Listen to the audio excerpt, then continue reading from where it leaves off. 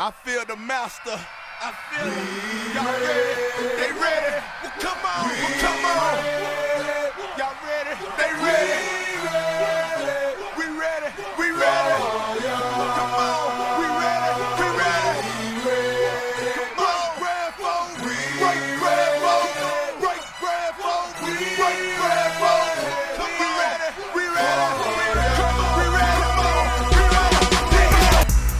Y'all know what time it is. Y'all know what we get ready for every year. Ain't no regular games. It ain't no preseason games. Jones gets ready for the championships. Jones gets ready for the playoffs.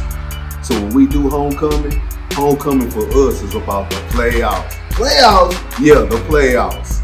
We getting ready to bring it for the playoffs and the championships. That's what homecoming means to us. So y'all get ready. All the students, all the faculty, all the parents, everybody involved that's being with the Jones Toros. Let's get ready to rumble. Let's get it, y'all. Toros, you know